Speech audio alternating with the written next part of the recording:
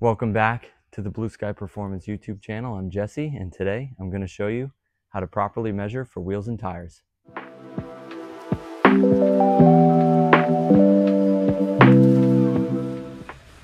So here we have Joe's 68 Firebird on the Roadster Shop spec chassis.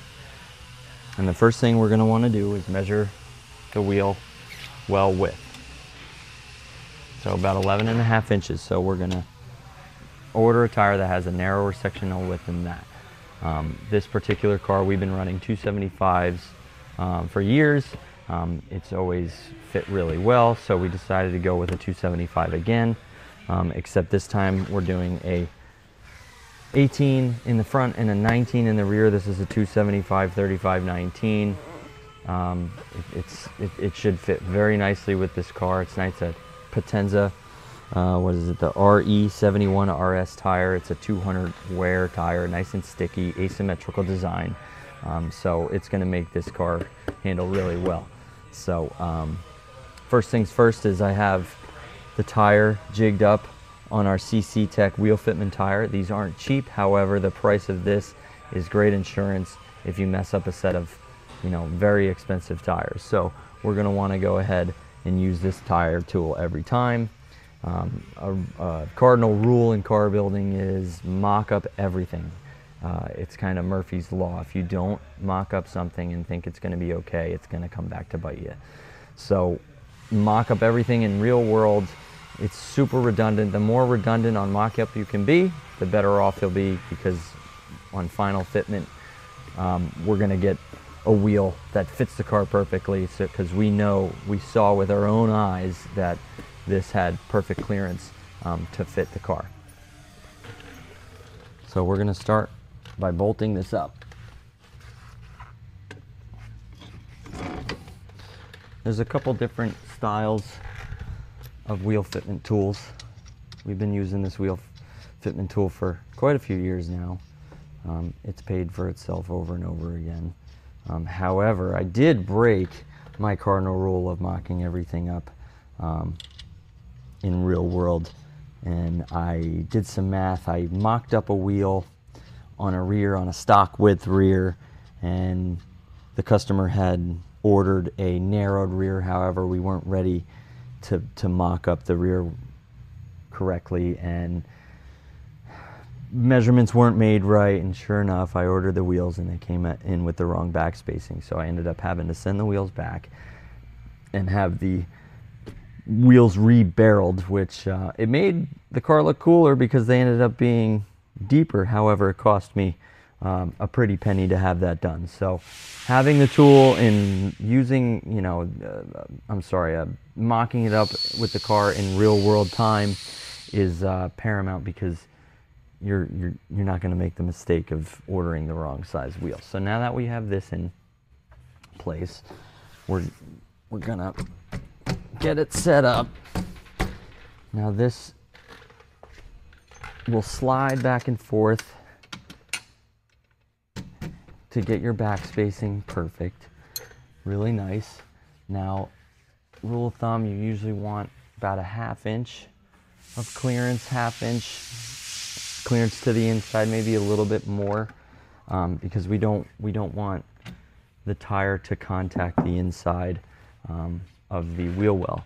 So we're going to go ahead and set it up to where it feels good. We're not going to make any measurements yet, but this, this looks pretty good. So, Okay, now that we have our wheel and tire on our fitment tool bolted to the car, I'm actually going to remove the coilovers so that I can cycle the suspension. I can put it at full compression, full droop. I can articulate the rear to make sure that through the full range of the suspension movement, the tire isn't contacting anywhere.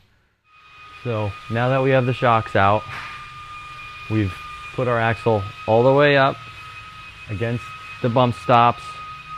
In our case, we measured the compressed shock length and set it at the shock length where the shock would be if the car were to take a big hit and we're going to bottom out that shock which Probably won't happen, but you never know. Let's plan for the worst.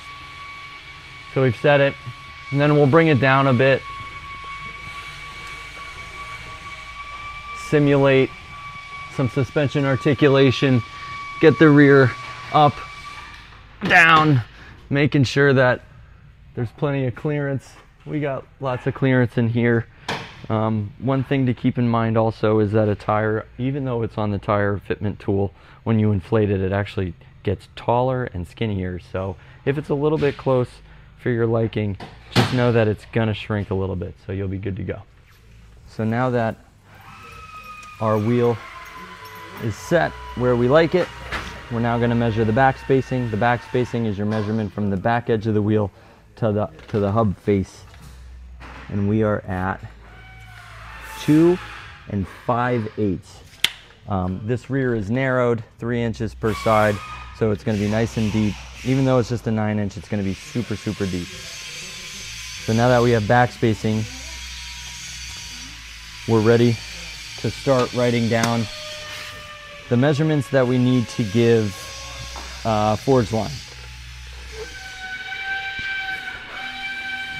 So one of the measurements that your wheel company is going to ask you about is caliper stick out.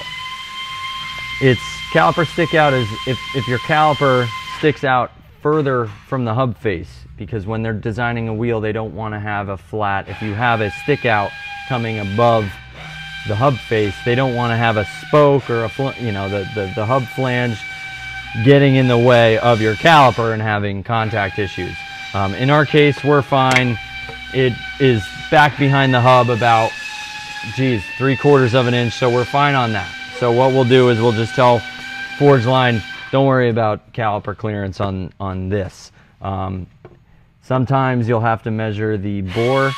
Um, the rotor happens to be hub centric. However, the wheel is not going to be hub centric. It's going to be lug, lug centric. This we're going to be using um, tapered style lug nuts, so we don't have to worry about giving them. We will give them this measurement. They'll know it because of the brake kit that uh, we're using on this particular uh, application. However, sometimes this will stick out, so we need to give them that measurement. Another vital me measurement we're going to have to give them is the bolt pattern. This is a Pontiac, so I know that it's 5 by 4 and 3 quarter. Ford is 5 by 4 and a half. You know, but the right way to measure a 5 lug bolt pattern is you're going to measure from the outside of this lug nut and then to the center of your opposite wheel stud. So as you can see, five by four and three quarters, 4.75. So you're gonna wanna make sure that you give that to your wheel company as well. Okay, now that we're done with the rear, we can move on to doing the front. And I'll show you what it takes to swap over to an 18 inch wheel size by an 8 inch width. So we're going to want to loosen up these sidewall clamps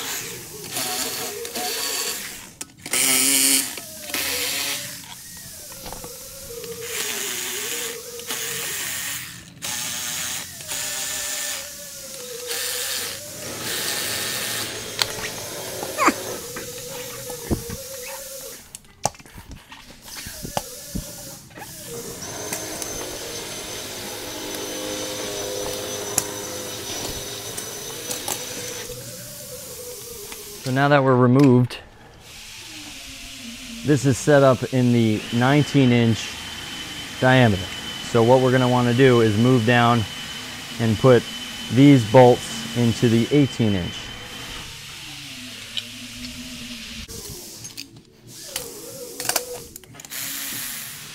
Now that we're at the 18 inch diameter, we need to move and change our width to an 8 inch. Now coming back,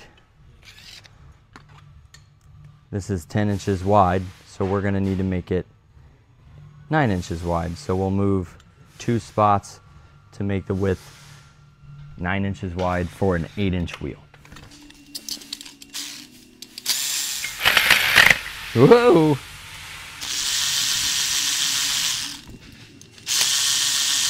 Now that we got that all ready, we can install it into the tool.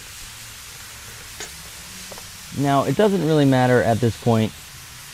However, I like to do it just for practice.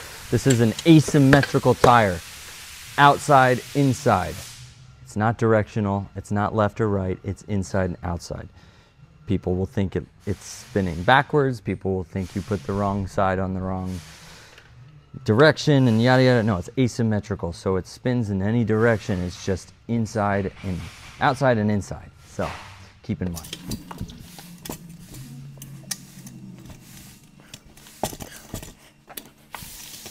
Now you'll probably need a pry bar in most cases. Yep.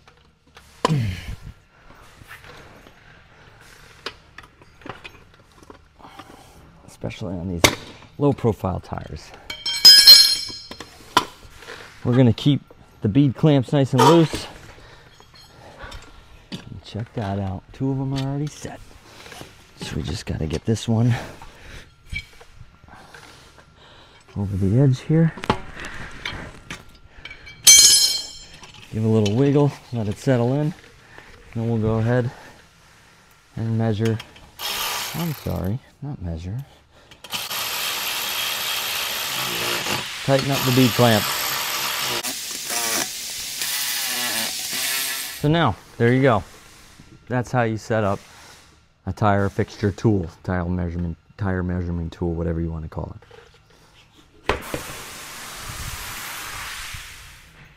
Now that I have the front wheel off, I'm going to go ahead, just like the rear, I'm going to take the coilover out. That way we can get the, the suspension up into full articulation. Um, front is extremely important, being that it's now a turning axle you're going to have a lot more clearance issues um, on the front. So it's it's it's very important to remove the, the coilover in order to get full movement out of the suspension. Okay, now that the coilover is out of the way, we can go ahead, get this thing bolted up. Now, the tool's set to four inches of back spacing. However, our old wheels we're at four and a half inches of back spacing, and I had a suspicion that we'll need about a half inch more of back spacing. So we're gonna go ahead and move this in an inch. So we're gonna give it five inches of back spacing. Let's see, where. Doo -doo -doo.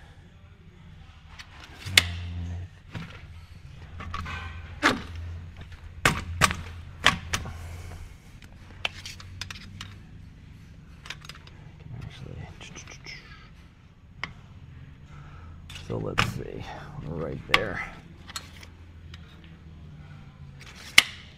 So we're gonna bottom that out and see where we're at.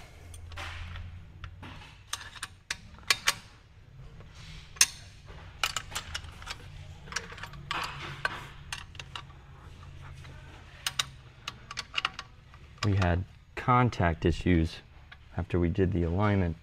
We had contact issues where the tire was actually contacting the fender on this side, not the passenger side. Um, that's again, that's old vehicle tolerances, uh, restored car tolerances, just things that come up. So we'll go in here and look at that. We have lots of clearance. We're good. And that's at full droop. So what we'll do is we'll get a jack stand. We'll bring the car down and we'll get a jack stand to get this thing up into ride height and do full articulation at compression. Um, that way we know if the car's ever getting pushed really hard and you're turning hard into a corner, you hit a bump, car dips down and you're not hitting the fender and eating up a tire. Now we got quite a bit of compression in here and we can turn the wheel and we are turning 100%. Tire isn't contacting the fender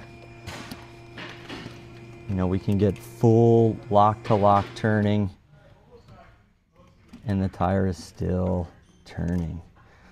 So we are golden. So five inches of backspace for the front is gonna, is gonna do us real nice. Like the back, there's a couple extra measurements we have to make. Again, this side, we're not, we're, we're not proud of the hub face on the caliper, so we're, we're golden on that aspect.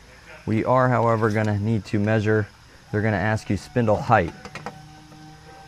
So, you know, put it here and measure down. We have two and an eighth. Now, if you have if you have a Baer brake setup, um, Wilwoods, Brembos, you can usually give them a part number and they'll be able to get the specs. Uh, all the brake companies have those specs on file, so you'll just be able to tell your wheel company, hey, I have you know this Baer brake kit, and they'll be able to take that and put that into the wheel. So to measure my spindle diameter, let me get my trusty calipers, zero them out, come to here, we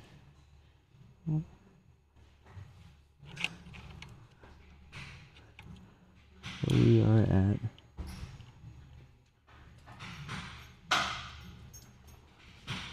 sixty-one point seven millimeters. So we'll go ahead, we'll jot that down. So the day has come. Our Forgeline GT3Cs have showed up. Roscoe's here to watch them get unbo uh, unboxed. All right, bud, you can give me a hand. So this is the front wheel, 18 by 8, 5 inch back spacing.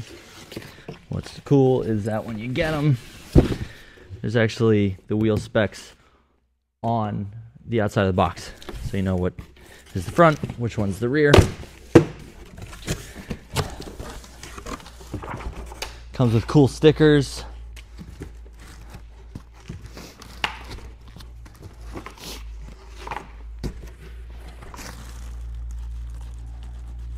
Be very careful. Don't want to nick these.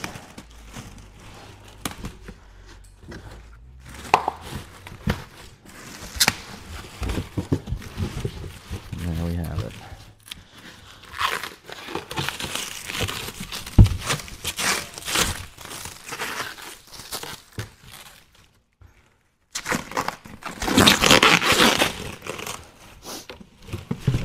the Forgeline GT3Cs, fully polished, polished barrels, polished faces. We went with a Pontiac Aero center cap that Forgeline was able to do for us. We went with a textured silver inner barrel.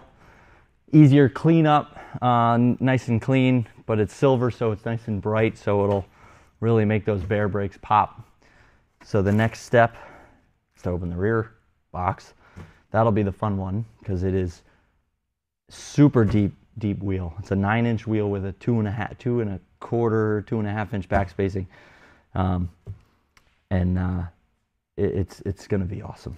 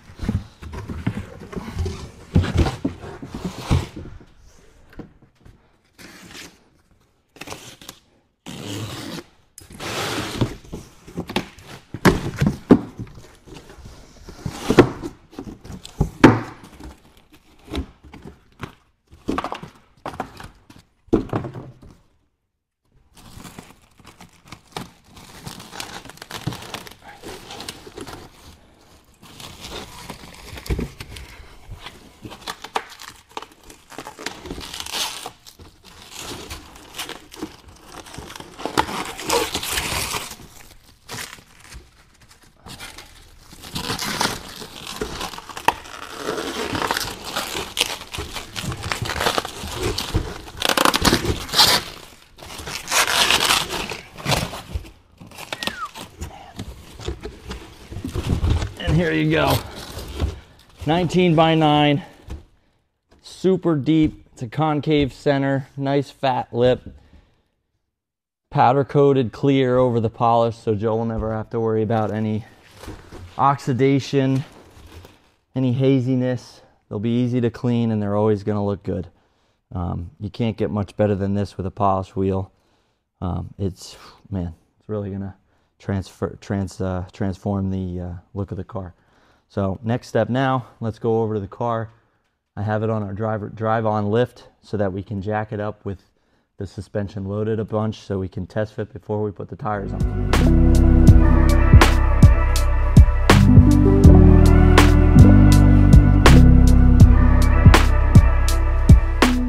So we have the car up on the air, up in the air on our drive on lift. It was just easier to have this car on the lift. We don't have to worry about taking the uh, coilovers out this time. Um, we won't have to cycle the suspension because we did that with our fitment tool. It's just to triple check our fitment, make sure the wheels fit good, and uh, we won't have any issues, hopefully.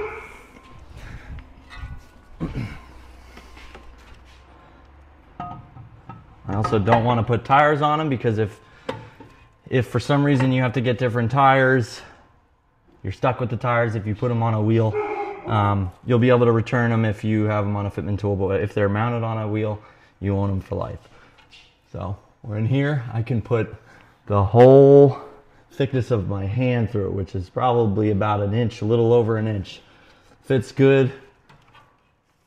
These fit perfect. These fit exactly like we wanted to um, on the fitment tool. So again, that expensive fitment tool has paid dividends on ordering these wheels and having them fit perfect. So next up, we'll go throw the tires on them and then we'll move on to fitting the front wheels.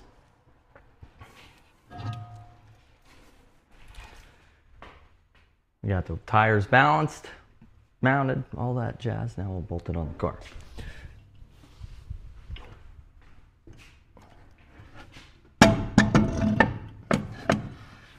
I left the center caps off because the Pontiac emblem is going to be painted black. So we don't have the center caps in yet. However, they just pop in from the front side. So we can go ahead and bolt these suckers on.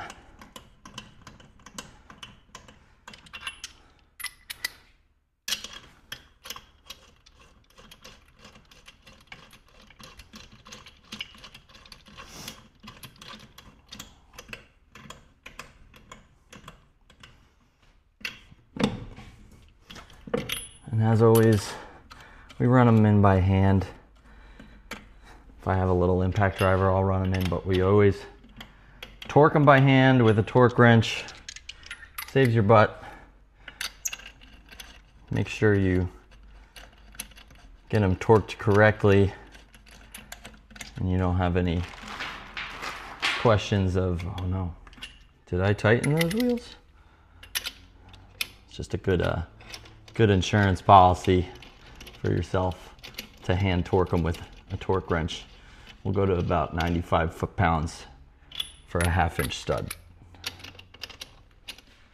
We have the front wheels off. We'll give front wheel. I mean, there's not much to look at here. Wheel wells are very big. The biggest thing is the tire. Um, we had great clearance before, but clears the brakes, clears the control arm, clears the tie rod, everything looks good. So we're gonna go ahead and mount the tire on now. Tire's mounted. We'll slide it on. And we'll get lug nut started.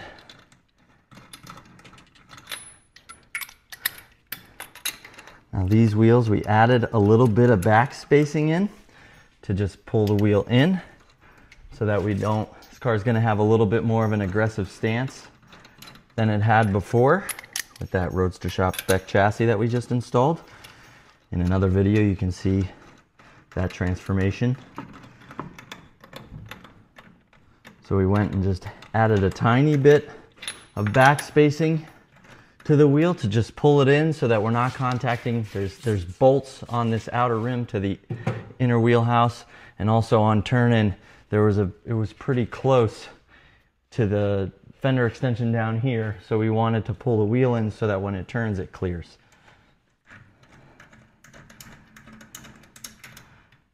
So if we did our math right and did our measuring correct, we shouldn't have any problems